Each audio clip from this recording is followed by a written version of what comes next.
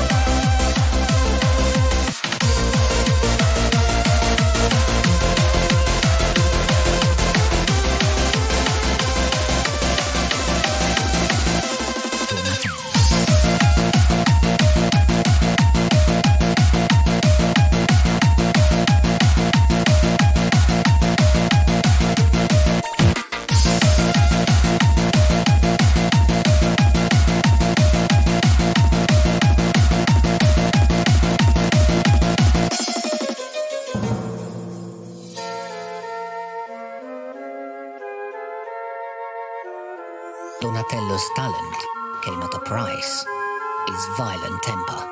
He was known to smash his own creations rather than to sell to an unappreciative client. Donatello.